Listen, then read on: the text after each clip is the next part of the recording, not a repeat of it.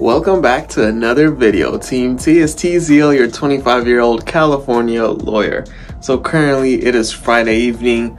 Just found out that I'll have to do more work than I thought on the weekend um, but I'll get a head start probably tonight or right after I record this intro. But before we even get into this video, please remember to hit that subscribe button for more videos like this, adventures around the Bay Area, California, and the world.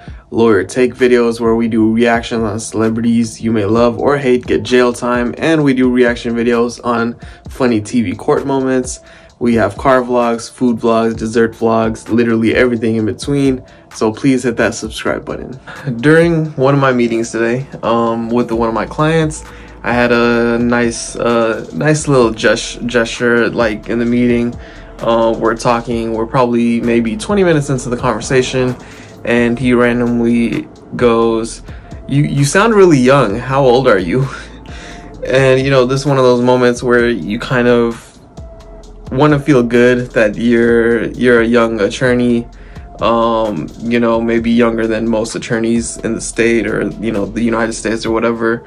Um, but a part of you is like, you know, if you reveal how young you are, then people might see you as stupid or less knowledgeable, uh, which may be true. Obviously, you know, there are more experienced lawyers out there that obviously are a lot smarter just through experience. Um, and I tell him I'm 25 and he basically reacts in a way where he's like proud of me and whatnot, which was a nice gesture, interesting one that I did not see coming. But in any case, I should head out now. I have plenty of work to do, um, and I'll catch you guys later.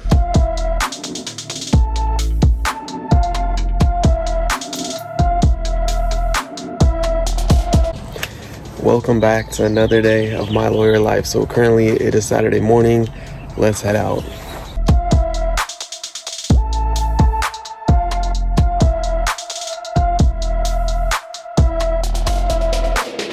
Well, the day is pretty much over at this point. Um, at our last stop, um, for now, I guess we had to grab food. We haven't decided where we're going to grab food. Um, I'm not 100% sure. I'm not uh, if I'm actually even going to go for the ride unless it's on the way home. Um, but I'm pretty sure we're gonna grab food, you know, like after we go home and everything. Um, so yeah, I probably won't come along. I do have work, as I mentioned in the morning. I had that meeting. Um, we ended up going home not that much later uh, after um, making the first couple of stops actually when i recorded the first piece um, we went home we had family coming over for one we had somebody um, coming to see uh, this little situation at our house we need something to get fixed so we had somebody come see that all kind of in the same hour or so and i had that meeting while i was at home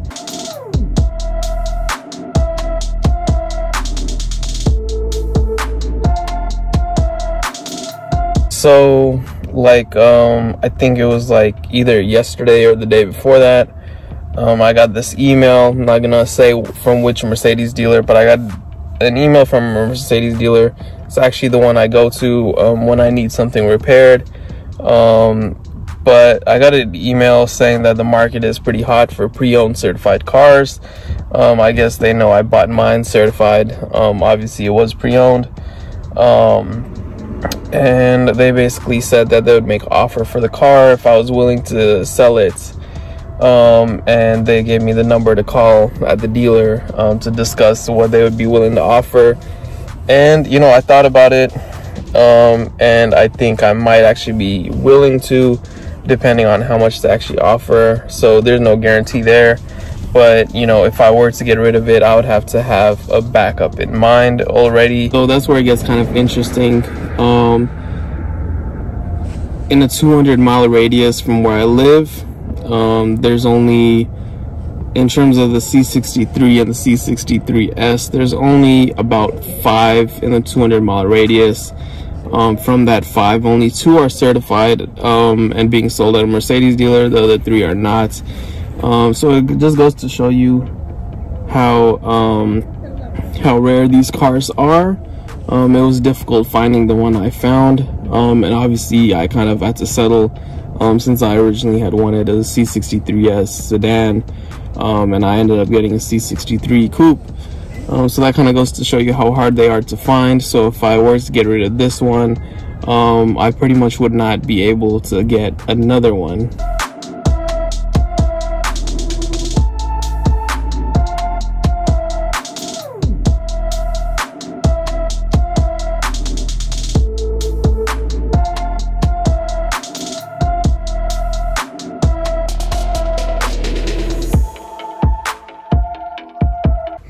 So we barely got home and we already have dinner planned out and we're pretty much gonna go grab it like right away. So I decided why not take the Benz out. It's been a while since I've driven it. Um, a couple of weeks, I believe.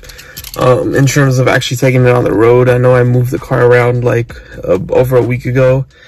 Um, but yeah, so I'll just come along for this and, you know, see how work pans out later. But going back to the conversation from earlier, still trying to decide um, what I'd be interested in if I did end up taking the offer that they put on the table. Um, I do have pretty decent doubts that would actually um, come up with a number that me and the dealer both agree on. Um, but you know, I am thinking about M3s, I am thinking about Range Rovers, I am thinking about i8s. Um, and yeah, there's not that much on the plate that I would actually consider since I am looking for something that would be reasonably reliable for now. Um, since I really can't afford repairs or whatever. So it's not like I could get a Lambo tomorrow. Um, because if something went wrong, like I mentioned a long time ago before I got this car, um, you know, I couldn't afford repairing a Lambo. Um, so it has to be something reasonable, at least to some degree, but we'll just see what happens.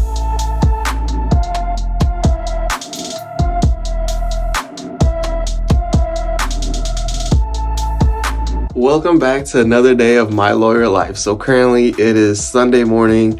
I'm just here to quickly cut out the vlog. I worked last night, um, pretty late actually. I had to jump onto work right now. It's like nine o'clock. Um, and I want to jump into it right away, uh, finish as much as I can, send it off, um, and go from there. I have to prep for tomorrow's hearing as well today. Um, so it's pretty much going to be a work day, I guess, um, for the most part, maybe. Um, even though it is Sunday, um, just one of those unfortunate weekends at this point. Um, and I'll catch you guys later in the next vlog. Anything I do record today, if I do, um, that will be in the following episode. Um, so please remember to like, share, and subscribe. Check out my clothing brand at the triumphco.us. Triumph, your dreams await.